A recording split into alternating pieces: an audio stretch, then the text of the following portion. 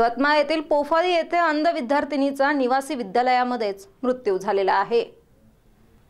यवतमाळ येथील उमरखेड तालुक्यातील अश्विनी विठ्ठल ठाकरे ही श्रीमती रेणुकाबाई जाधव अंध विद्यालय निवासीची विद्यार्थिनी होती. जेवण झाल्यानंतर झोपताना अश्विनीला उलटी झाली. नंतर तिची प्रकृती अत्यावस्थ झाली व लगेच तिचा मृत्यू झाला.